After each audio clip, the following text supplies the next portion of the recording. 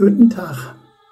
Bei dieser Gelegenheit tue ich mal etwas näher beleuchten, was wir in den ersten Jahren nach dem Krieg so allens gegessen haben.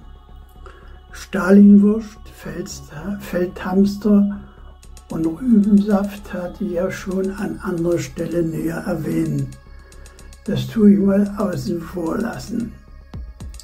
Wie gesagt, den Luxus gab's auf Marken aber es brauchte noch etwas mehr, um über die Runden zu kommen. Tante Tilly und Tante Martha, die Tanten von meiner Mutter, waren aus Königsberg schon vor Kriegsende in Welsleben angekommen. Die beiden Rentnerinnen taten wissen, wie man aus nichts was Essbares machen tut.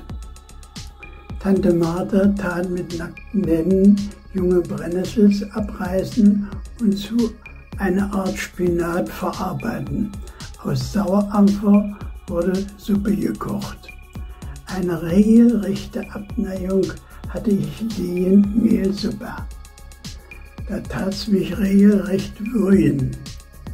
Da Tante Martha kein Gebiss hatte, was in dieser Zeit gang und gäbe war, taten die die Brotrinde abschneiden, trocken und daraus Brotsuppe kochen.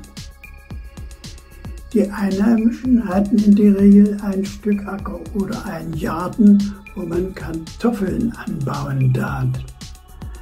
Das wussten die Flüchtlinge und haben da gerne oft auch unerlaubt Kartoffelschalens gesammelt.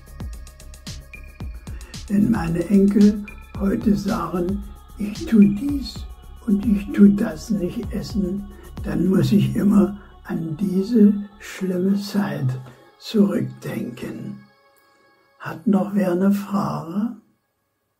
Na dann, mach's gut.